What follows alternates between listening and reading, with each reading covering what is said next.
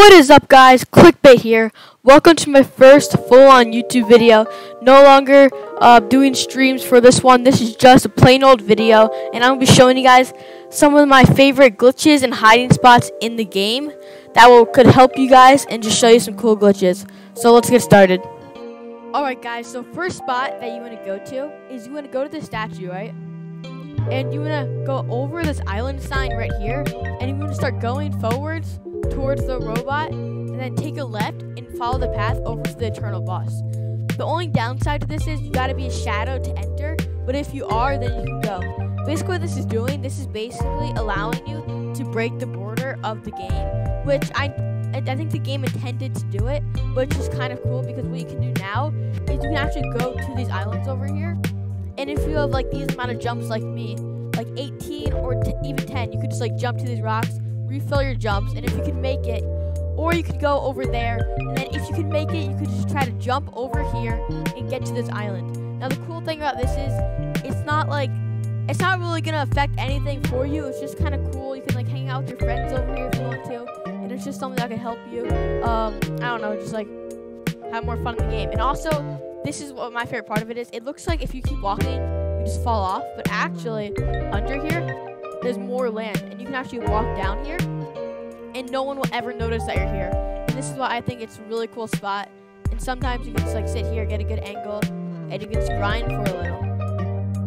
Alright guys, so next thing I want to show you is a really cool glitch. So basically what you can do, you can actually go over to the cell, right? This is where you sell your stuff. And instead of just getting normal ninjutsu like you usually do, you can actually sell it repetitively. So what you can do, you want to have this green sign over you to make sure, make sure you're protected.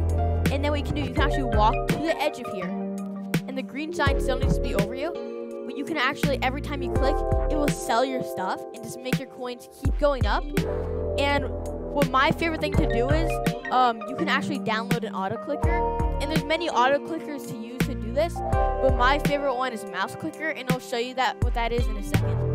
Okay guys, so basically what you want to do is, you want to go to Google or any search browser you want that you have, okay? You want to type in free mouse clicker, okay?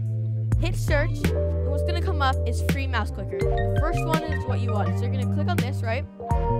When you get here, this is the most efficient one you're going to see, basically, because this one requires no membership, totally free, and there's no malware. Oh, that's the best part about it. I've used this for so long, zero malware, nothing, and it never requires any membership like all of like the um um like forge ones you can get.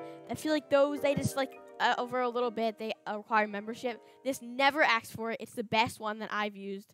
And so all you gotta do, you just gotta hit um, download free mouse clicker and just open, and there you go. You got it. Make sure it's zero hours right here, zero minutes, milliseconds doesn't really matter. I just put it at 21.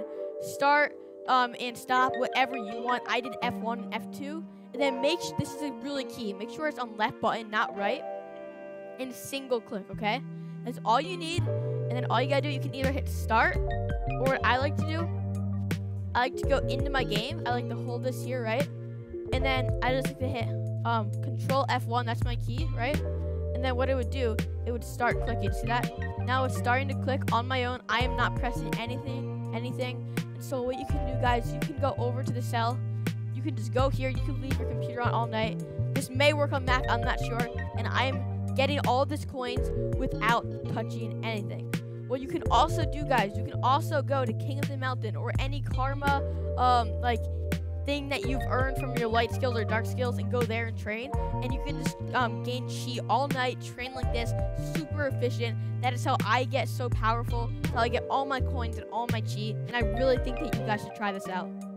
Thank you guys so much for watching. I hope these tips helped you.